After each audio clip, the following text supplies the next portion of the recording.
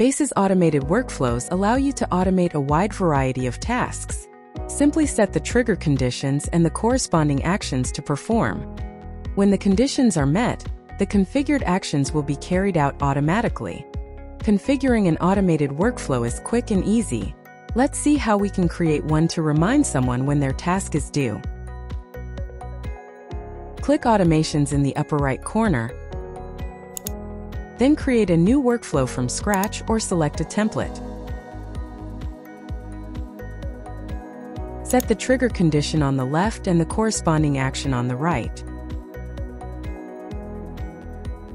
For example, at 9 o'clock on the day of the deadline, send a message to the member in charge of the task.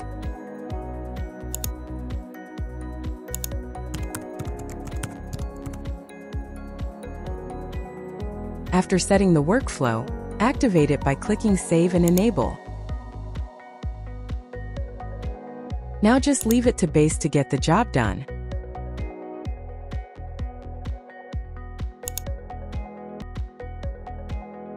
Besides project management, automated workflows may be useful in many other scenarios.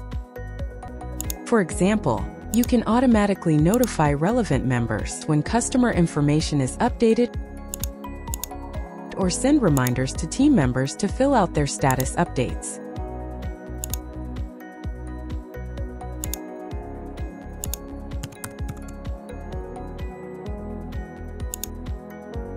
Go to Base now and see how you can make the most of automated workflows.